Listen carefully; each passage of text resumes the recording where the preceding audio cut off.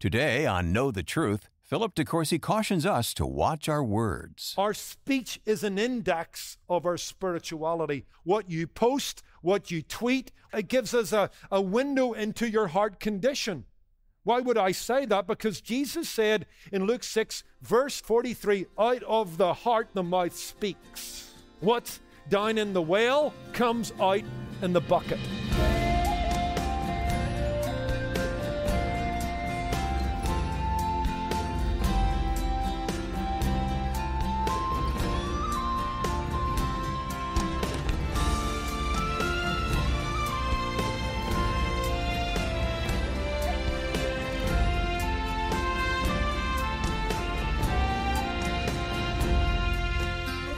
Welcome to Know the Truth with Philip De Courcy. He's senior pastor of Kindred Community Church in Anaheim Hills, California. In recent years, we've seen gas shortages, food shortages, and even toilet paper shortages, but there's certainly no shortage of words on Facebook, Twitter, and YouTube. Yet the book of James tells us to be slow to speak and swift to listen, and Proverbs reminds us that with many words come many transgressions. So today, Pastor Philip helps us use our words wisely in part six of his series, Tech Savvy. Listen to ktt.org. Here's Philip. I maybe have the gene of an old pastor I knew back in Northern Ireland called Jim Smith, and he would often preach on a text or a sermon or a series and it would go long. He famously preached on Luke 15 on the prodigal son, and he spoke on that for weeks and weeks and weeks. In fact, the prodigal son spent weeks and weeks and weeks in the far country. So much so that one of his deacons said to Pastor Smith one day, Pastor, it's time to bring the boy home. And I'm bringing it home. We're going to wrap this up. We've been looking at the issue of tech savvy. What about technology and the Christian? You know my love for Winston Churchill. Listen to these words of this great British leader. Unless the intellect of a nation keeps abreast of material improvements, the society in which that occurs is no longer progressing. An interesting thought. Churchill understands that life is going to develop in terms of material progress and technology, but he would remind every society that they've got to think hard alongside those developments and those improvements. And they've got to have a philosophy on life as life improves and their thinking's got to keep up with their technology, so to speak. And that's what we've been trying to do in my sermon, Tech Savvy. You and I live in a tech saturated world. We're thankful for that. In so, so many ways, our lives have been enhanced. There is human flourishing through technology, from travel to communication to medicine, whatever the case might be. But with everything in a fallen world, the upside has also got a corresponding downside. And we've been trying to think through technology and theology. We want to remind ourselves, according to Romans 12, verses 1 to 2, not to allow the world and its mindset, its disposition towards certain things. We're not to allow that world to press us into its mold, but you and I need to have a biblical mindset that indeed looks at things from a godly perspective and from a Christian worldview. Now, if you've been with us, we've covered several elements of the subject. We looked at technology as a question of thanks. We looked at technology as a question of time. We looked at technology as a question of triviality. We looked at technology as a question of truth. We looked at technology, lastly, as a question of temptation. There are many temptations associated with technology. Number one, self promotion. Number two, human approval. Number three, envy and covetousness, materialism. Number four, and we spent two weeks on this in recent days, lust and sexual sin. We looked at the whole issue of pornography, which is so pernicious on the World Wide Web. But I've one more I want to talk about very quickly before we move on to look at the question of thought the question of togetherness, and the question of tyranny. The temptation of overtalk. The temptation of overtalk. I don't know if you've realized this, but the digital world has made us all talking heads. Social media is a grave temptation in the arena of speech and the use of the tongue. And that's important to you and me as Christians. Number one, because Our speech is an index of our spirituality. What you post, what you tweet, what you Twitter, and what you text, it gives us a, a window into your heart condition. Why would I say that? Because Jesus said in Luke 6, verse 43, out of the heart the mouth speaks. You know? What's down in the well comes out in the bucket. James 1:26 reminds us, hey, you want to know about the measure or the health of a man's religion? And then ask yourself this question, does he control his tongue? Because the man that can't control his tongue, the woman that doesn't censor her speech, has got a religion that's vain and empty and weightless. And then on top of that, what about Proverbs 18:21? This is a staggering verse. Life and death is in the power of the tongue. That's amazing. That Bible verse is saying to you and to me, what we do with spoken words and written words will determine the quality of life, relationships, and society. That's amazing. So the digital world tempts us in this arena. We're texting all the time. Chat rooms, Twitter, Facebook, posts, blogs. There's a never ending streaming and spewing of speech. And I don't think it's for our good. We're talking more without talking to each other. Think about that. We're talking more than ever without talking to each other. And we're certainly talking more and listening less. Everybody's become an expert. Everybody's become an opinion columnist. Everybody's become a self publishing author. Happy to tell you their view on everything from vaccinations to the latest movie. There's this rush to be heard. It's kind of scary. And it's an arena of temptation because the Bible in the book of Proverbs warns us about the sins of the tongue slander, spreading lies and falsehoods, gossip, breaking confidences, flattery, use of coarse and crude dialogue, and here's the one I want to talk about for a few moments the danger of talking too much. The danger of talking too much. Let me give you a few verses that will, will speak to this. The biggest one is Proverbs 10, verse 19. I think I heard this verse for the first time in a class on the sins of the tongue by Wayne Mack at the Masters University. Listen to Proverbs 10, verse 19. In a multitude of words, sin is not lacking. What's that verse saying? It's saying this the more you talk, the more likely you are to sin. Because remember what James says, the half brother of Jesus? No man is perfect in his language. Just like a horse needs a bit and a ship needs a rudder, you and I need to control our speech because none of us are perfect in it.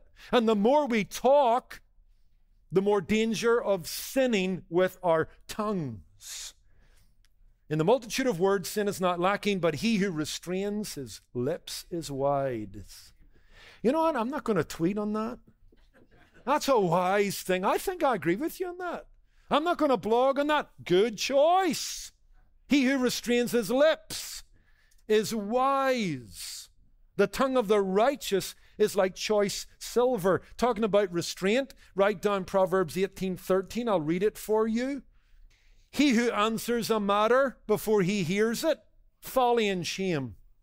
You ever heard that old wisdom? Better to be thought a fool than to open your mouth and prove it. That's what the Proverbs teaches us. He who answers a matter before he hears it.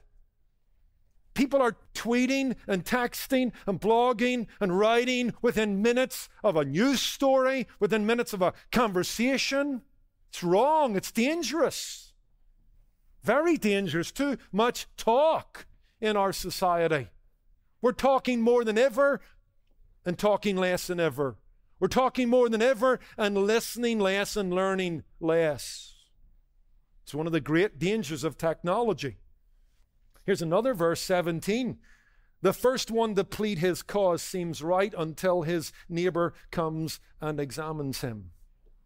How many times are you watching on television retractions? Because 24 7 use cable. We want immediate opinions. We want immediate conclusions. And the first person to speak usually has to retract. Because listen to the verse the first one who pleads seems right until his neighbor comes along and said, I think you forgot this little piece of information. Did you know this when you said that? That's what the Bible said. Be careful to be the first person to say anything on anything. Because have you taken enough time to listen? Have you taken enough time to research? Are you sure there's not another opinion that's going to contradict your convictions so quickly formed? The Bible addresses this stuff all the time. I think there's one other verse here Proverbs 29, verse 20. Do you see a man hasty in his words? There is more hope for a fool than for him. See, here's what's interesting. Let me go with this for a few minutes. If I was just to draw a contrast between the age of printed materials and books and the age of technology and tweets and texts and blogs, there's a great difference. Look, let me say this. I don't want to seem a Luddite. I don't want to seem overly negative. I am thankful for the democratizing of the ability for voices to be heard and views to be expressed. That's a good thing in a free society. And certainly in the United States, we love the idea of free speech. That's a good thing. In many ways, we have given voice to the voiceless. I think of high technology has allowed voices to be heard in China and Hong Kong and North Korea and places where there is no free speech, where there may be only one media outlet that's controlled by the state. So, on the one hand, I want to acknowledge that technology has been good for free speech and it has democratized the ability for opinions to be heard. But on the other side, just when you compare it to the age of printed words, you and I need to realize that our smartphone, our tablets, our iPods, our personal computers, they present to us our own Gutenberg printing press. If you study European history and Western history, you'll realize how important the printing press was. But here's the downside to that Everybody now gets to write a daily opinion column on anything they choose. They get to write their own autobiography of who they think they are. They get to write their version of history. I could go on. I'm not sure that's all good because let's just take an analogy between, say, a newspaper columnist or someone writing a book or, or publishing, you know, a peer-reviewed article. Before that ever sees the light of day, what happens? There's pre publication accountability, there's the checking of facts. Or at least we like to hope so. There's the process of refinement. There's perhaps a conversation that takes place in, a, in an editor's room or at an academic council where the subject is deepened and broadened. There's an editorial board that might change some of that. Then there's forewords and endorsements from experts or interested parties in the field.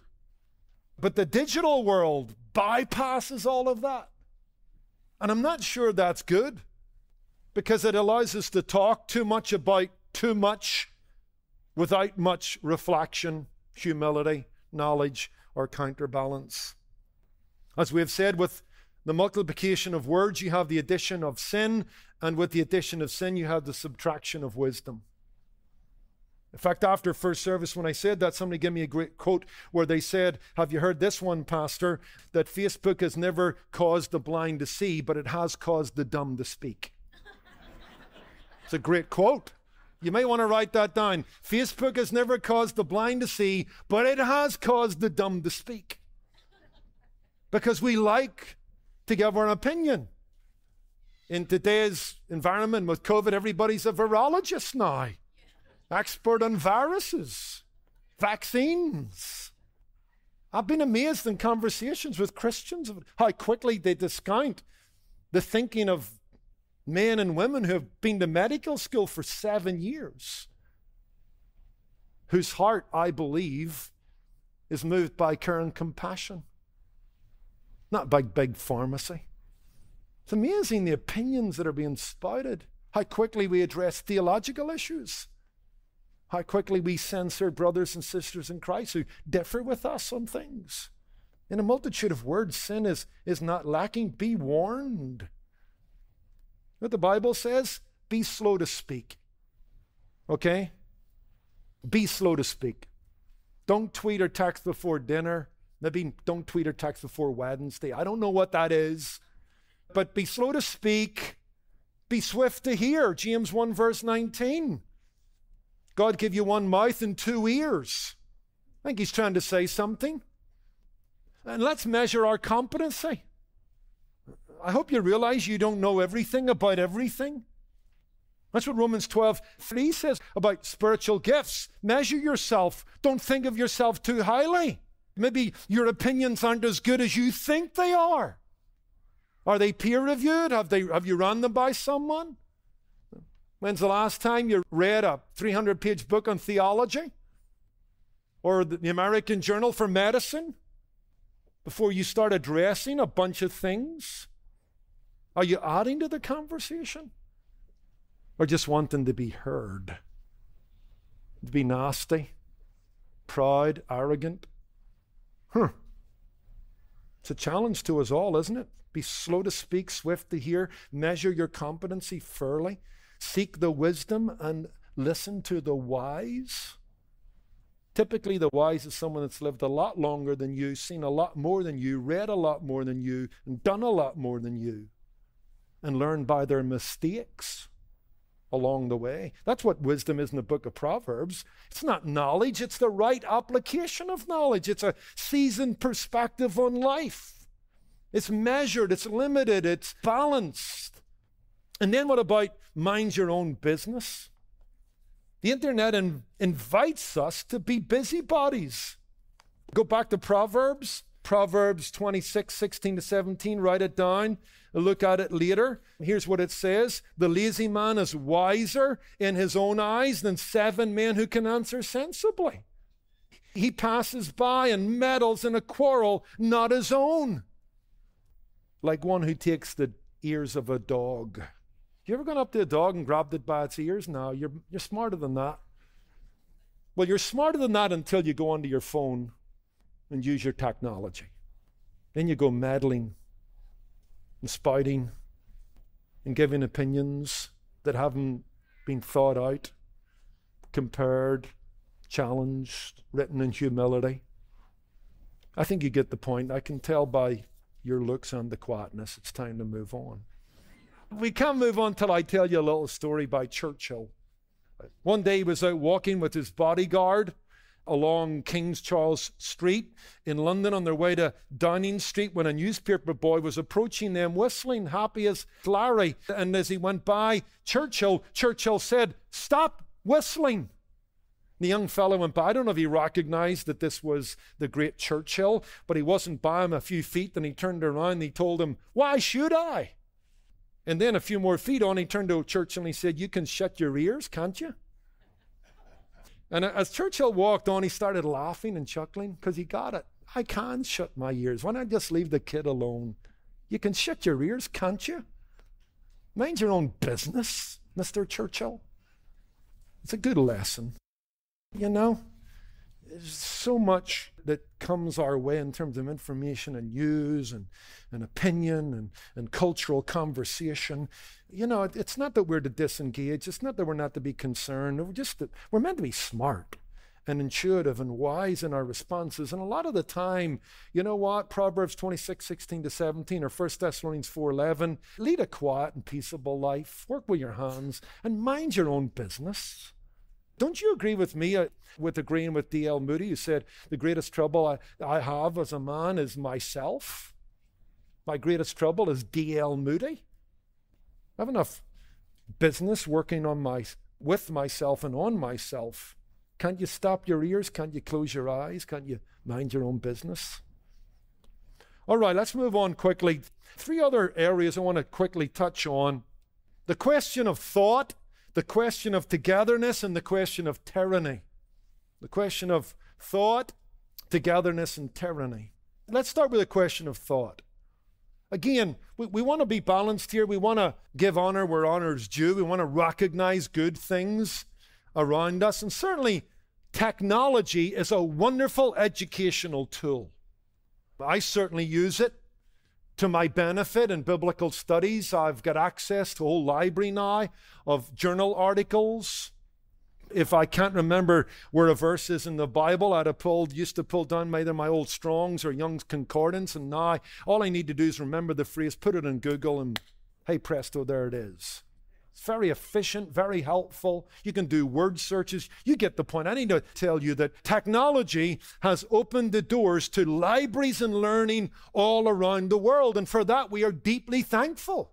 It's a question of thanks. This is a grace gift from God. Amazing. But as we've said so much in this series, while technology gives, it takes. And the paradox with technology is that while it invites us to study and learn, in the same token, it diminishes our capacity to do it. The longer we use technology, evidence is piling up, the less equipped we are to study and to give serious thought and